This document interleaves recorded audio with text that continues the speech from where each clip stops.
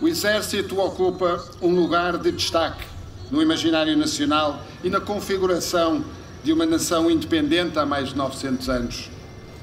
Em perigos e guerras esforçados, os homens, e desde há 30 anos para cá também as mulheres do Exército Português, demonstram continuamente o papel incontornável que esta instituição desempenha na defesa militar do nosso país. Contribuem para o cumprimento dos nossos compromissos internacionais e missões das Nações Unidas, da Aliança Atlântica e da União Europeia, mas hoje o Exército cumpre igualmente um conjunto muito vasto de missões em território nacional em resposta às necessidades e às expectativas dos portugueses. E o Exército não deixa de estar presente também todos os dias nas atividades culturais e na preservação do património, na profunda relação que mantém com os municípios, especialmente nas regiões do interior do país. É uma instituição moderna, credível, de elevada competência e um pilar fundamental da nossa soberania, do nosso contributo para a segurança internacional e do apoio a todos os portugueses.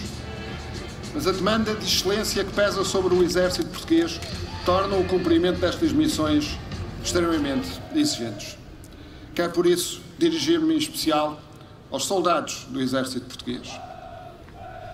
A base de qualquer estrutura é sempre o elemento mais importante na sua manutenção e na sua preservação.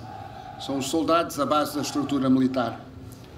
São também vocês, soldados, quem cumpre hoje grande parte da taxa de esforço e missões consecutivas.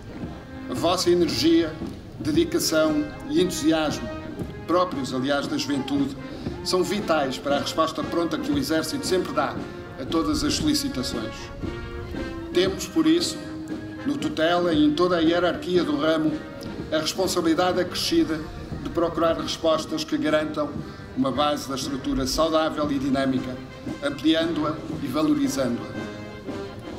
Dando estes passos decisivos, com coragem e com o apoio dos portugueses, estaremos em boas condições para fazer jus à herança valorosa do nosso Exército e para sermos dignos sucessores de gerações ilustres que nos antecederam. Viva o Exército, viva Setúbal, viva Portugal!